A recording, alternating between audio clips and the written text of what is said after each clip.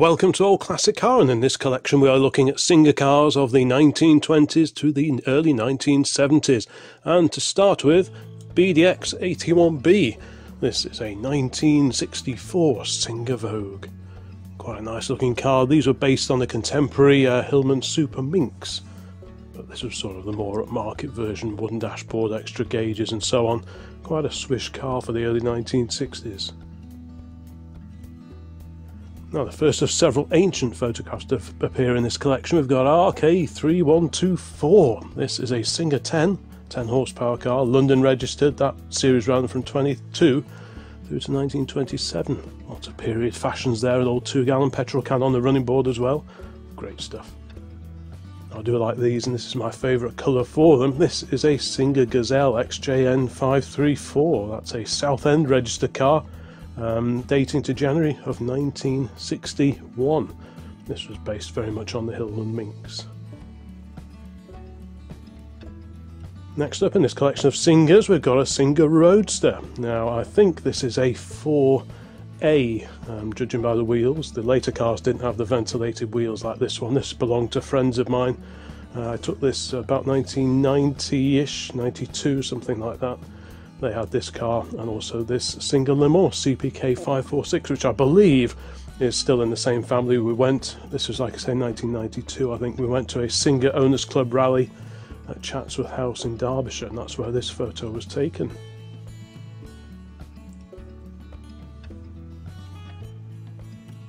Here's a rear view of the same car. This was about three years later. This was 1995. You can just see my XJ12 on the right hand side, bottom of the photograph there. Nice period vintage trailer behind the Singer on this occasion.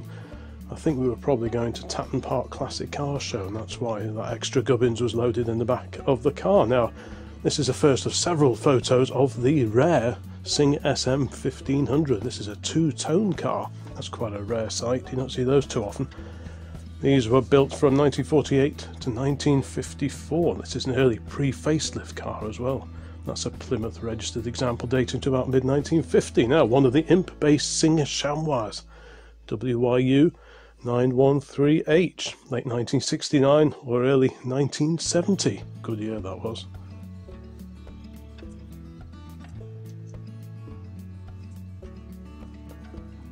Next up, all these old singers. We're down to the NEC Classic Car Show.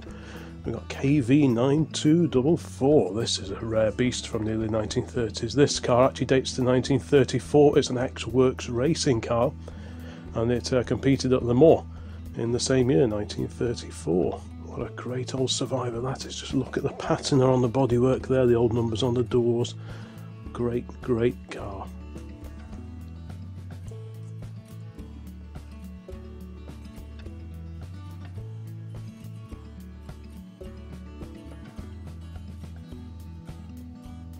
Now, my thanks, I must say thanks to Peter Ward. He supplied many of the Singer car photos that appear in this collection, including this one. This was in a scrapyard in New Zealand, Horopito Motors. Um, there should be a video all about this scrapyard in the 1970s already on the channel. Check that out. And here we've got a Singer Hunter. This was the facelifted version of the SM 1500. Here's a rear view, I think probably of the same Hunter. Um, shades of Rover P4, I think, in that design. Also has the rear hinged back doors bit of an outdated car really for its time. Didn't sell all that well for the company, even though technically it was quite an advanced little car. But um, anyway, to vintage times, and we've got here uh, a Singer uh, Junior, a very nice two-tone car here, red and black, with a Pratt petrol can on the running board. Very, very smart indeed.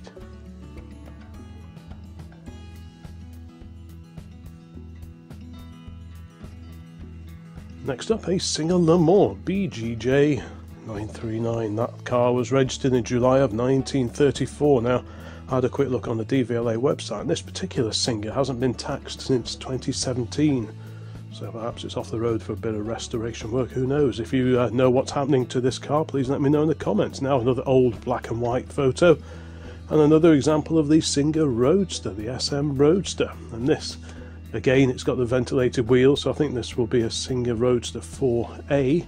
Uh, yeah, I think that's right. The 4AB had the disc wheel, so this will be the 4A.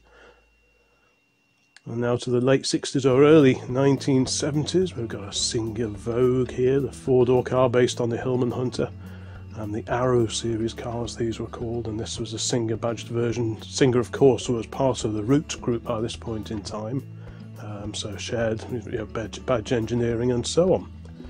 Now to a VSCC event at Alton Park, we've got two photographs now of this WX3515. This is a super rare fabric bodied Singer Junior Coupe. That's a really rare machine indeed. You got the battery on the running board there. Beautiful little car that is. And as I said, it's fabric covered body on this one. There's a rear three quarter view of the same car. That's a very neat little car indeed. That's a Yorkshire registration. That series ran from 29 through to 32.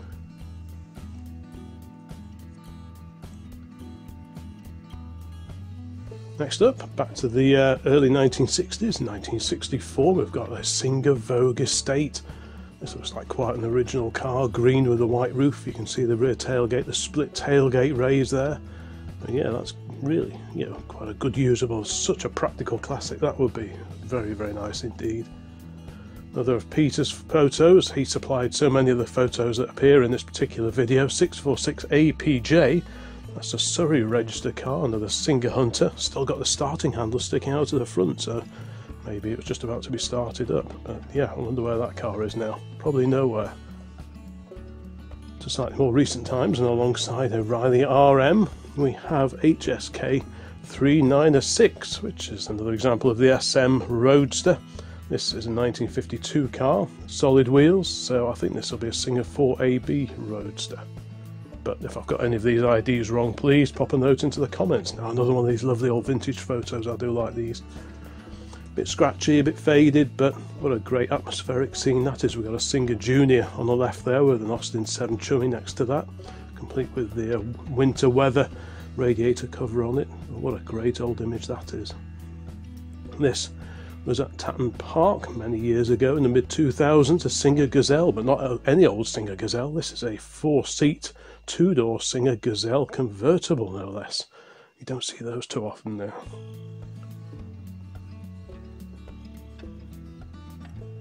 And there's an interior view. So what have we got there? Nice wooden dashboard.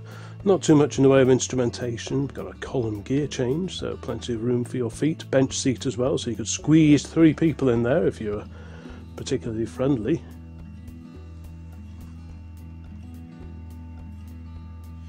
Back to Peter's photos taken in the uh, late 1970s in New Zealand. Another Singer Hunter. Green example there. Looks like a good usable car. Singer seems to have sold particularly well over in New Zealand. Uh, the Scrapyard series that I mentioned at Horopito Motors. There were so many singers in there, it's well worth checking out that video. Anyway, back to the NEC, National Exhibition Centre, and their classic car show. We've got CSV 662, that's a Singer Le Mans, and that car dates to 1934.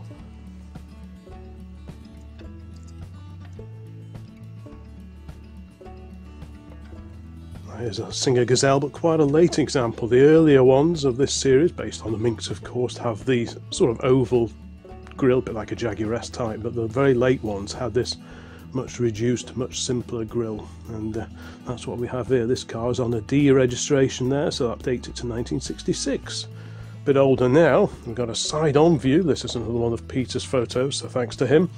This is a 1948 Singer, maybe a 10 or a 12, something like that. And the date of this photo is 4th of July, 1959.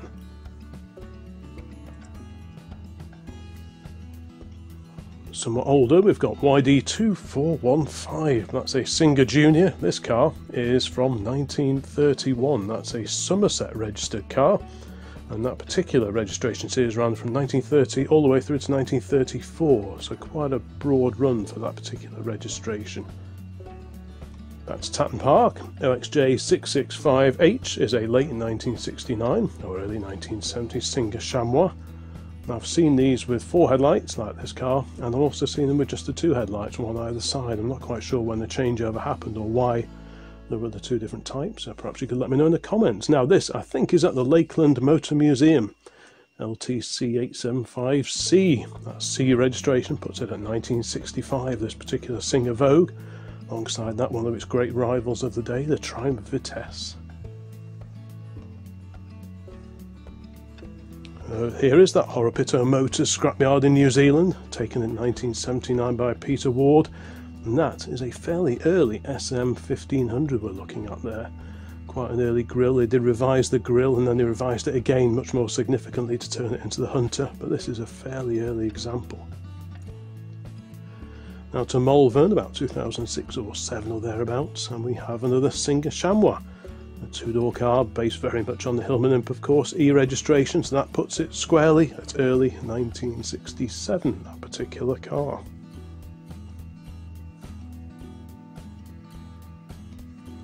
Here's a nice one, PA, PN8972. This is on the Singer Owners Club stand. That is a Singer 9 Sport. It's not a Le Mans. It looks like a special bodied car, Sussex registered, and dates to 1932. Old black and white photo here, and I think this is a Singer 11, but I could be wrong, about 1934, 1935 or thereabouts. It's a Southampton register car.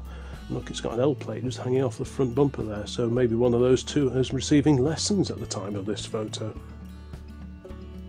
Another Peter's photos here, and two singers for the price of one here. In the foreground, we've got another one of those fairly late Singer Gazelles with a revised front grille. Behind that, I think that was Peter's own Singer Hunter, complete with white wall tyres. Beautiful looking car. Look, paintwork really glistening in that example. Back to Malvern, quite a few years ago, another Singer Roadster. That's a 4AB with the disc wheels that I was talking about. The earlier car that we saw before has the holes around the wheel but this one just has the four slots on each wheel, that dates it to about uh, early, well, about 1953 or thereabouts. There's a rear three-quarter view of the same Singer with the Malvern Hills in the background and a Triumph Stag alongside.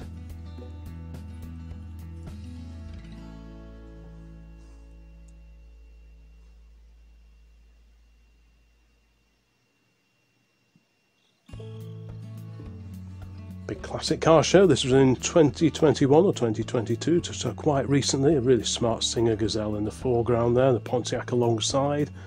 It's a nice car indeed. Which would you have? This grey green for the Gazelle or the blue that we've already seen? I think I'll probably go for the blue. Another one of Peter's photos here. Looks like it dates the 1970s. We've got a Mini on the left and a Renault 12 on the right hand side, I think. PLB 822 is a Singer Hunter. There's two of them there. That registration still shows as being current but untaxed since 1979, and this photo dates to 1979, so it soon came off the road after that picture was taken. Now, BCG 253, that's another Singer 9 Le Mans. You can tell the Mans because it's got those humps just ahead of the driver and passenger on the top of the scuttle, just behind the windscreen there. That's the difference visually between the Le Mans and the 9 Sports, which we'll also see examples of. Now, Another rear view of a Singer Chamois. This is a 67 registered car. This is pretty bonkers. I believe this has got a 383 cubic inch Chevy V8 in the back, circa 480 brake horsepower. And I did do a quick check. This one is SORN off the road at the moment. First registered January 1967. Back to New Zealand. And another example of the Singer Hunter four-door saloon. Looks like this one was in regular use still in the late 1970s showing its age a little bit on the paintwork, but it was, what, about 25 years old or thereabouts at the time, so I think we can forgive it a little bit of patina. No patina here, just a glorious paintwork on TSV 371. Singer 9 Sports, a four seat car. Like I say, the Le Mans has the humps just behind the screen on top of the scuttle, but this car, the Sports, is flat there. That's one of the main differences when you see a Singer. A side-on view of another Arrow series car. We've seen the four-door saloon Vogue already, uh, compatriot to the Hillman Hunter and the Minx. And this is a side-on view of the Vogue Estate. One-piece rear tailgate on these. The earlier Vogue Estates had a split rear tailgate, Look at this, I mean, what a great car that is. back to Malvern, BLE 473, another Singer Le Mans. That's a four-seater. Some were two-seaters, some were four-seaters, and this one's got a huge extra lamp on the front.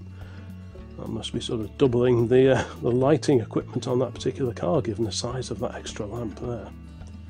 Another great old black and white photo here. I think this is probably a Singer Super 10.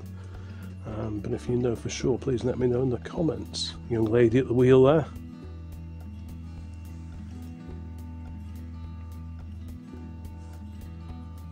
Carrying on with these photos of classic Singer cars, we're down at the Haynes Motor Museum and surrounded by many other cars and interesting enamel signs is this maroon Gazelle.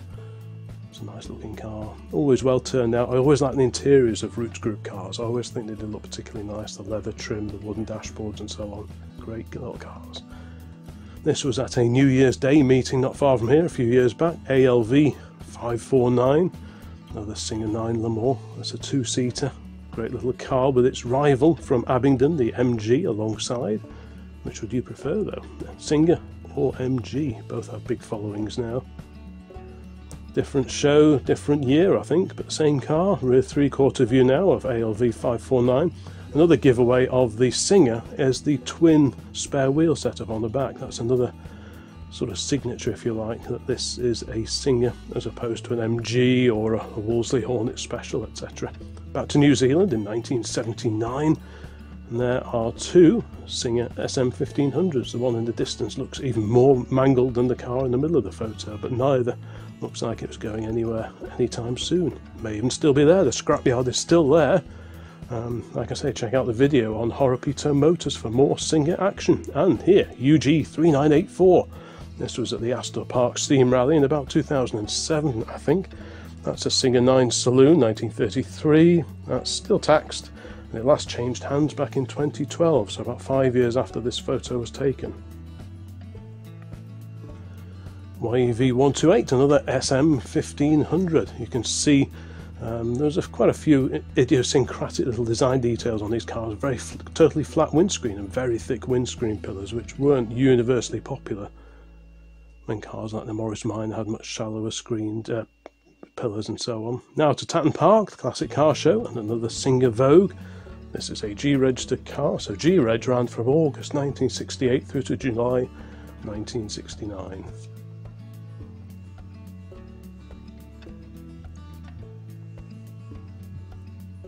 Another great old black and white photo here.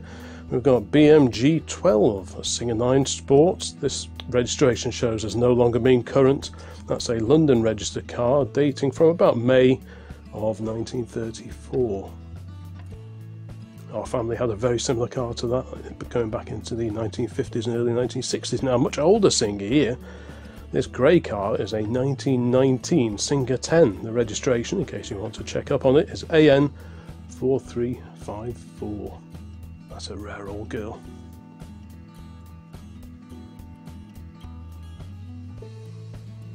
Okay, to 1965 now, and we have a Singer Vogue. This is one of the later cars with a square roofline and the squared off rear window. The earlier cars had wraparound rear screens, which I think look a little bit nicer to be honest, but I guess they just modernised the design a bit for that year. The Singer Chamois, one of the fastback coupe versions of the basic Hillman Imp, and you also had the Sunbeam Stiletto as well, but this is a Singer Chamois. I checked that registration number before. It's on a J plate that dated to 70 or 1971. Another of Peter's photos now, he was a big fan, and probably still is, of Singer Hunters and SM 1500. 68 BPA was looking a bit second hand at the time of this photo, and that registration is now on a 2015 diesel BMW. Oh dear. The vintage Singer here, another Singer Junior. Also two-tone, like the maroon and black car that we saw before, but slightly different layout. Um, just the tops of the doors are painted black on the wings, whereas the other car, it, the black continued along the top of the bonnet, if I remember correctly. Nice little car. Back to New Zealand, and a rear three-quarter view of another Singer Hunter. This was in 1979 or thereabouts. But yeah, it looks like a really clean, very well preserved car. And again, like I say, real shades of Rover P4 there, I think. Now, this was at Loton Park, one of the vintage sports car club meets at Loton Park in recent years. And this is the Bantam, a Singer based single seat racing car. This was taking part in the, uh, the hill climb meeting at Loton Park. We've seen it several times there now. Great looking little car, that is. There's a driver's eye view of the dashboard and the controls. You can see the pre-selected gearbox uh, selected there, just on the just behind the steering wheel. So you pick your gear and then press the left-hand foot pedal to activate the gear when you are ready for it, hence pre-selector. Very common on Rileys and Daimlers in fact. Now two photos of 112 VKK.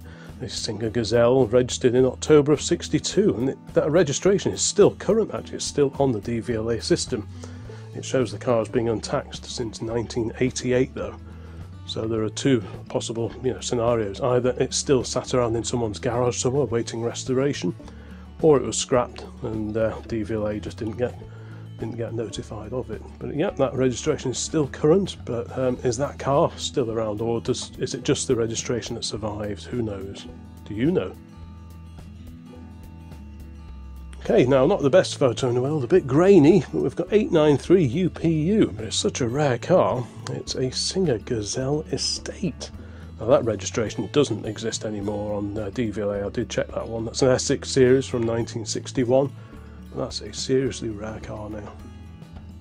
now. I do love this one. This has been obviously taken out of an old photo album, complete with notes underneath. Mother, Dad, and Auntie Lucy at Pier Approach, Bournemouth, 12th of June 1930. And the car, I think, is a Singer 10 four door, four seat Tourer. What a great old scene that is. Also nice, a Singer Vogue Estate. We've had one of these before. The previous one was at the WEM Classic Car Gathering down in Shropshire. And this, I can't remember where this one was, but it's a much shinier example of the same car. But again, a rare survivor and really, really useful old car that is. It's the same car, but a different show, I think this was. But you know, the attention to detail on some of these cars is just fantastic. Look at those chrome plated uh, rear hinges for the lift up tailgate there. Really nice detailing. This car dates to 1966.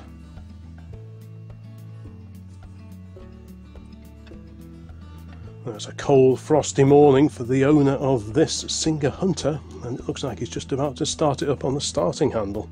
GTY84. Um, that registration now survives on a 2020 Fiat Abarth. Whether the car itself is still around, I do not know. Now, BGX 287, a lovely Singer 9 Coupe, a fixed head two door coupe. That's another car that used to, one of those used to be in our family years ago. After the Singer 9 Sports was sold on, it was replaced by a Singer 9 Coupe and then given away in the late 1960s. Now to Tatton Park, this was quite a few years ago. We've got another fastback Singer Chamois here, four headlamp version.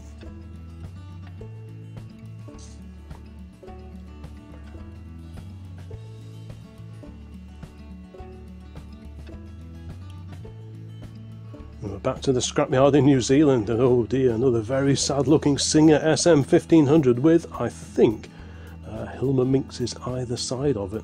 Real rival to the uh, Singer back in the day, the little Minx, very similar shape as you can tell uh, by that car on the left there. But yeah, none of them look like they were going anywhere again anytime soon. An ACD 595, we've seen this one at shows for many, many years locally. Another Singer 9 Coupe, very stylish little car indeed.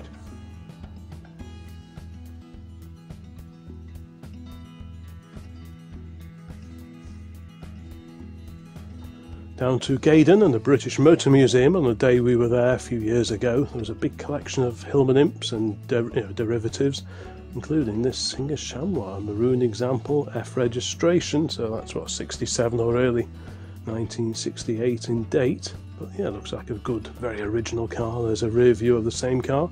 Quite unusual alley wheels on there. What make and what make of wheels are those? I don't think I've ever seen those before. Let me know if you recognise them.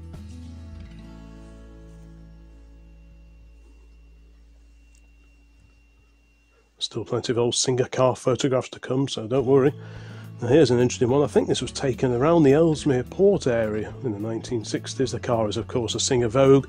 The registration 1STU. I mean, that's going to be worth a few bob now if you're called Stuart. That registration at the moment resides on a 2015 Toyota, of all things. Back to a VSCC hill climb meet, and we've got WN8515 a Singer based special.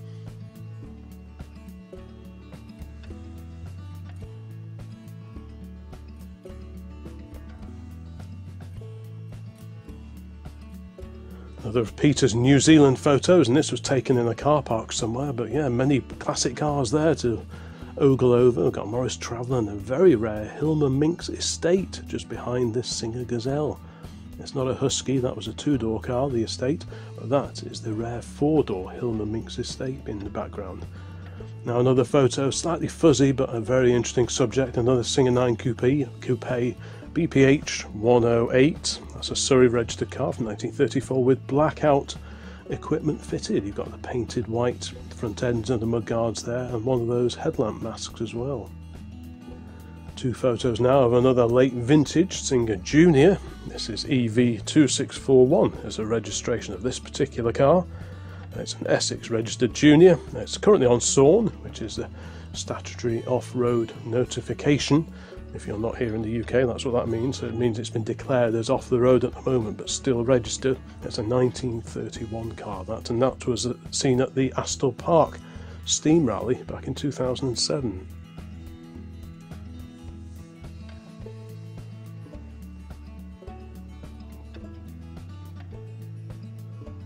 Okay, another Singer Vogue, this one on a C registration, it's at 1965 of course, and again it's one of those higher roofed, squared off back window versions. Very similar uh, styling to the uh, contemporary Humber Hawk actually, that went through a similar styling change. They had the curvier roofs and the wraparound rear windows until they were replaced. Now RGA, RGO 108, another SM Singer Roadster, that's a London registered car from 1955, and going off those plain wheels, it's a Singer 4AB SM Roadster. It's a nice Jaguar alongside it as well, 420G.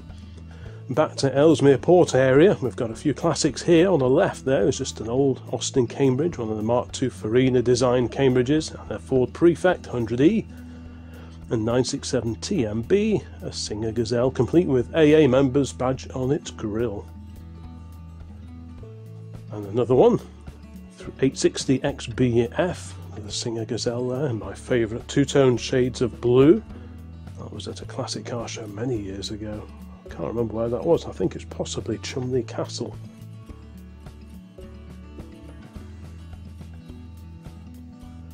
Back to pre-war cars, an ABH 337. That's another Singer 9 Sports, not the Le Mans. And alongside it, there's a very nice little Lanchester LD10, one of the Briggs bodied cars.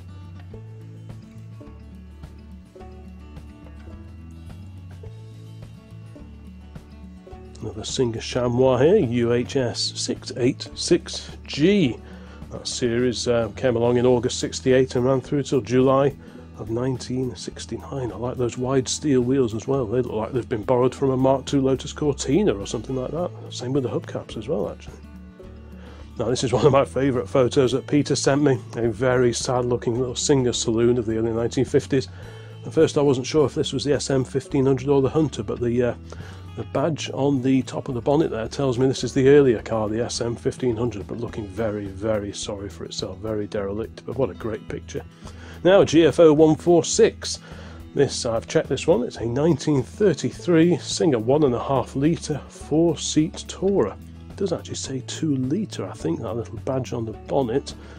Uh, every reference I've found to this particular car says it's a 1.5 litre, so we'll go with that.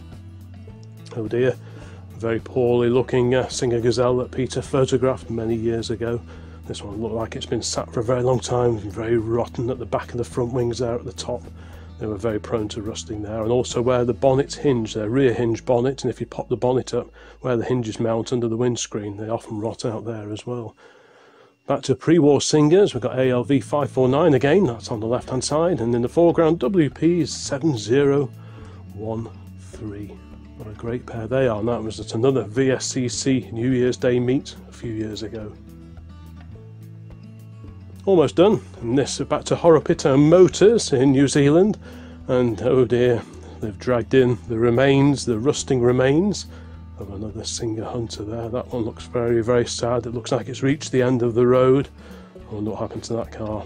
The grill's looking well mullered as well. That's looking pretty sorry. Now this, I photographed this one in the auction area at Tatton Park Classic Car Show, but this must have been in the early 1990s, early to mid 1990s. We've got a Singer Roadster 4AB, I think. Um, but if you know if what's happened to this car, has it been restored now? Is this Singer back on the road now? I'd hope so after all this time, but you never really know. I think this is another one of Peter's cars, another Singer Hunter. You can see the horse's head mascot on the top of the radiator grille there. That was one of the uh, key identifiers for the Hunter. The, the previous SM1500 didn't have that on it. But that horse's head was a feature of the Singer Hunter. And to round this collection of classic Singer car photographs off, we've got 635 UXE, another example of the Super Minx based Singer Vogue with the wraparound rear window. This is the curvier roof and wraparound window that I was talking about before when I was talking about that 1965 Vogue. This is a slightly earlier car from about 61 or 62 or thereabouts. Quite a smart car. It's got those clip-on white wall tyres. Yeah, quite a sharp looking car indeed. And that, Singer Vogue, rounds out this collection of over 95 photographs of vintage and classic Singer cars. Thank you so much for watching this video. There are quite a lot of compilations like this on the channel now, so please have a look around. Try this uh, channel search and sort of search for your favourite car makes or models and you might be surprised what turns up. And there'll be more videos along very, very soon. So thanks for watching. Bye for now.